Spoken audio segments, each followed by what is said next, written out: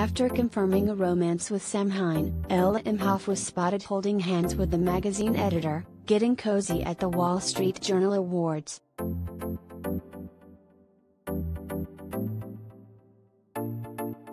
Ella Emhoff, 22, looked more stylish than ever when she attended the Wall Street Journal Innovator Awards on Monday night, showing up to the occasion with boyfriend Sam Hine, 27. The couple were spotted holding hands at the event which is described as honoring groundbreaking talents from a range of disciplines.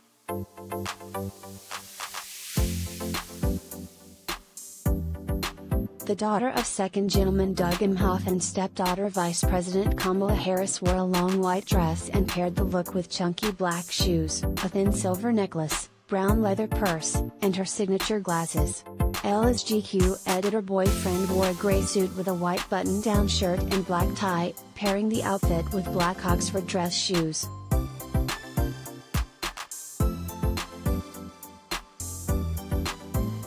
When arriving at the ceremony, Ella wore a long, black leather coat with a cream-colored collar, walking into the event holding hands with her beau. The sweet moment between the two came after they engaged in some PDA this summer, kissing on a boat while soaking up the sun together.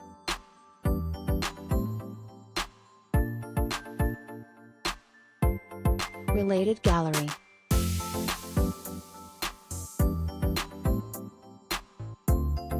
Ella Emhoff, photos of Kamala Harris' stepdaughter.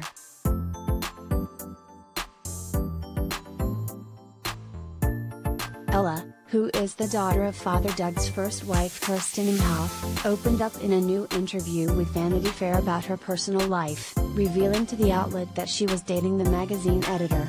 During her interview, she shared that her idea of a perfect date was a stop at the market, buying the wackiest produce, and figuring out what to cook with it.